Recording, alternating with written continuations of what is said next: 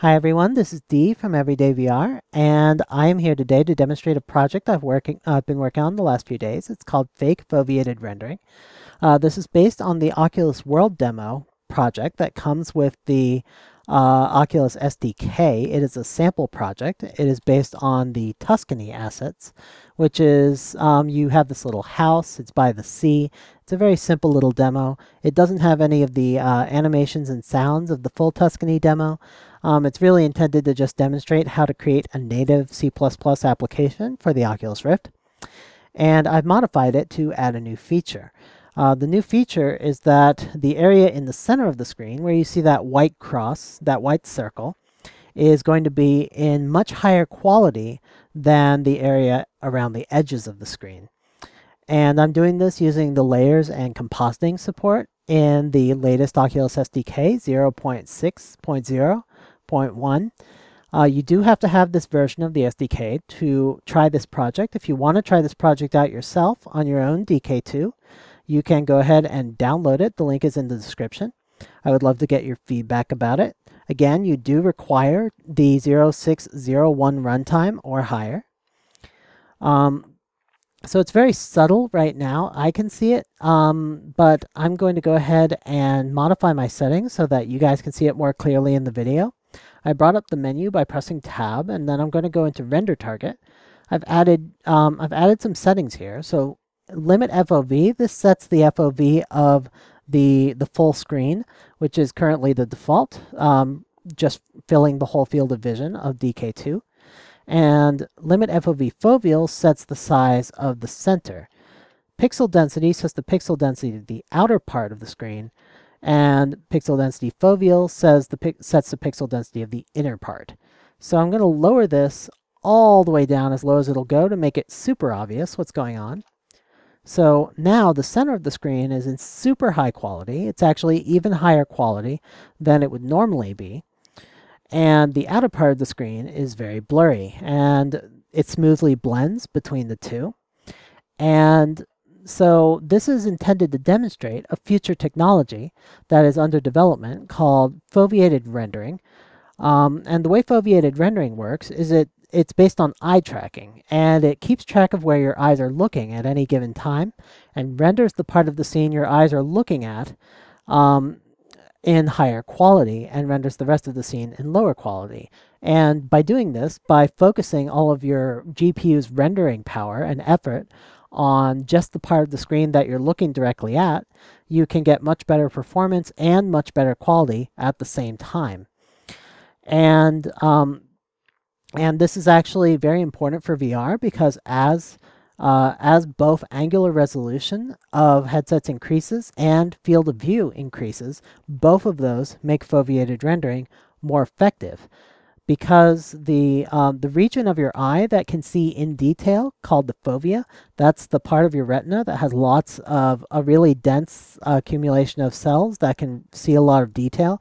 Is actually very small. It's a very small region. And the way that you the way that you look at things in real life is you look all around the scene and you look at lots of different parts of the scene in detail and you remember what you saw and you use that to construct a detailed view of the scene so it's actually wasteful to render the whole scene in detail because the only part you're able to see in detail is the part that's falling in the fovea of your retina. Um, and foveated rendering takes advantage of that. The catch is that you need really fast eye tracking hardware to pull it off. So this is one region, uh, one reason I'm really excited about the Fove Kickstarter that is running right now. And in fact, I believe it only has about 30 hours left in it. So if you're excited about this kind of technology, definitely give that Kickstarter a look. I'll link it in the description. I'll also link this project in the description if you want to try it on your own DK2. You do need to have the very latest SDK 0.6 0.0.1 or rather runtime or else it will not work. It will crash. So don't do it.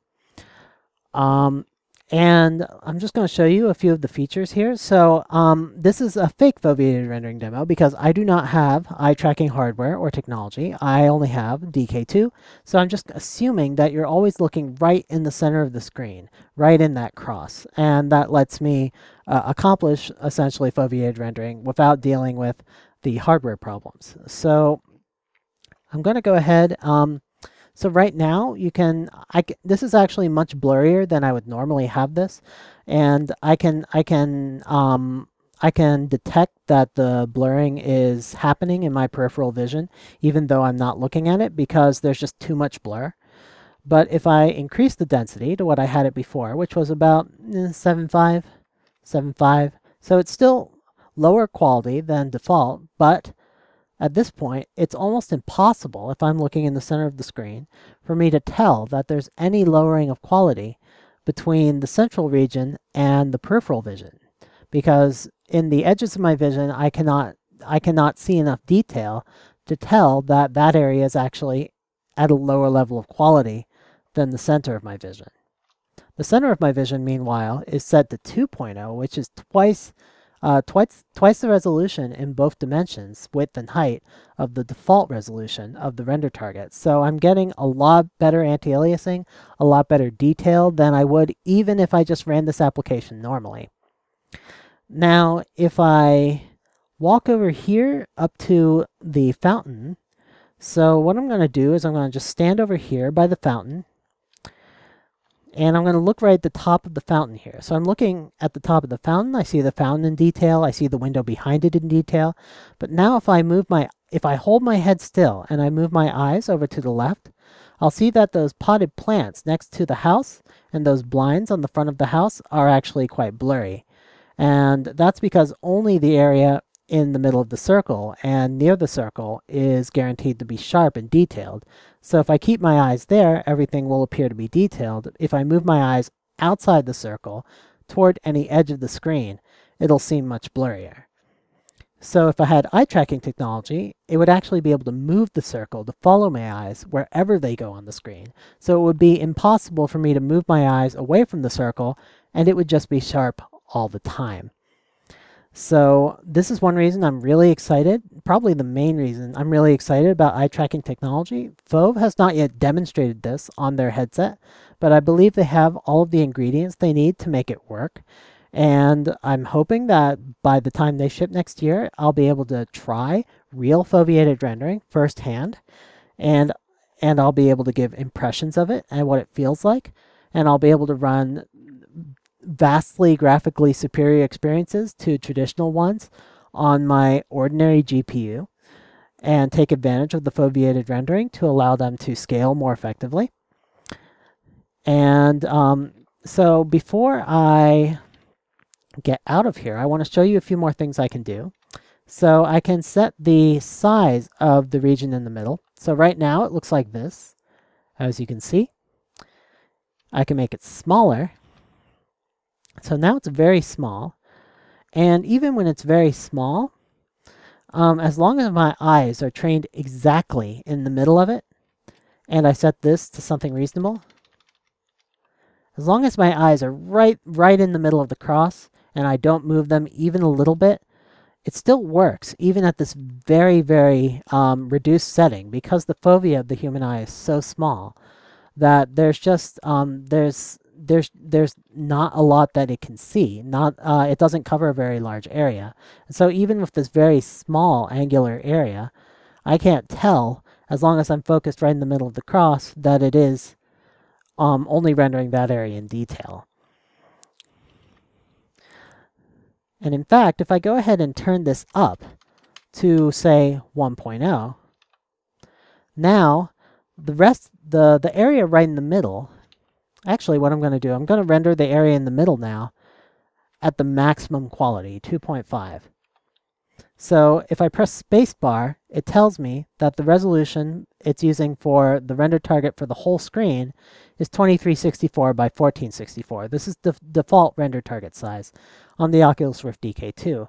And additionally, for that circle in the middle of the screen, it's using a render target of size 968.480 times 484. So it's quite small. Because of its small angular size, it doesn't take up many pixels. It's very fast to render. But it gives me this new added benefit where I can look directly at any object, and while I'm looking directly at it, I can see a great deal more detail, have much better anti-aliasing on that object, while in the rest of the scene, I still have the same level of quality that I would normally have. And this is, um, this is a very cheap way to allow you to get much better quality in the center of the screen while, without sacrificing any quality anywhere else. Conversely, I can, so I'm going to go ahead and expand it now. So right now it's super small. And if I expand it to, say, oops, I want to lower the pixel density a bit.